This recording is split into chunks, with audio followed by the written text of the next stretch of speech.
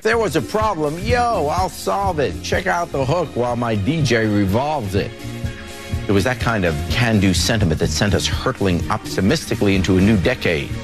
Sure, the year would have its negatives, the ominous rise of the lambada, but it had a lot of hope, not to mention some super hot babes. And for that, 1990, I give you two snaps and a bag of chips. Remember, take care of yourselves and each other. 1991 taught us that despite appearances, we got a lot in common. While the kids of Compton dodged bullets, the kids of 90210 dogged retail. Yet they were all residents of La La Land. And who would have thought a children's television star and a Supreme Court candidate shared a common love? It just goes to show when you put the differences aside, you finally realize we're all naughty by nature. Remember, Sir Mix-a-Lot said it best. My anaconda don't want none unless you've got buns, hon. He really captured the mood of 1992. He knew what we wanted out of the decade. Mix-a-Lot wanted big butts, and he couldn't lie. Ross Perot wanted to be president, and Joey Buttafuoco, well, he wanted love. Remember that, and remember to take care of yourself. 1993 was a year of three Willies. One was freed, one was chopped, and the other became the President of the United States.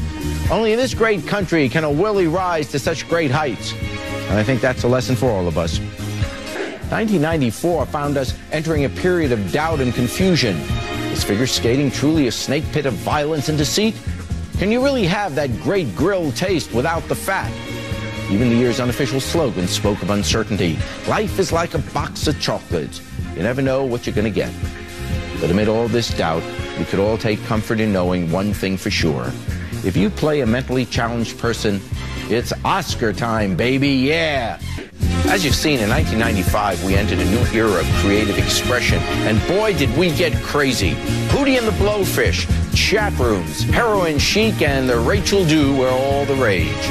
1995 taught us to go extreme, and if all else fails, nothing screams pay attention to me like a belly chain or tribal tattoo.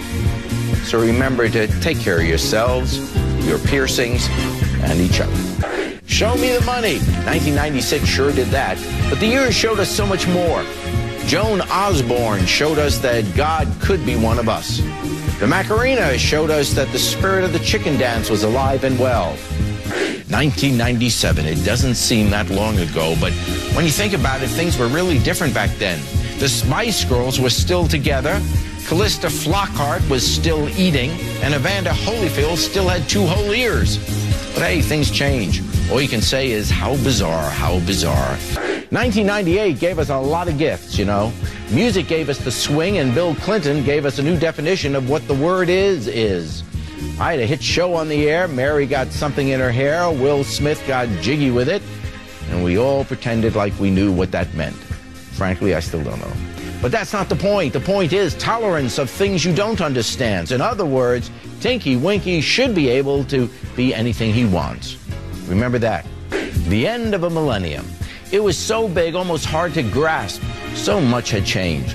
In the year 999, Christians were plotting to win an epic battle of world religions. By 1999, Susan Lucci had finally won a daytime Emmy. In 999, it was the monotonous chants of monks.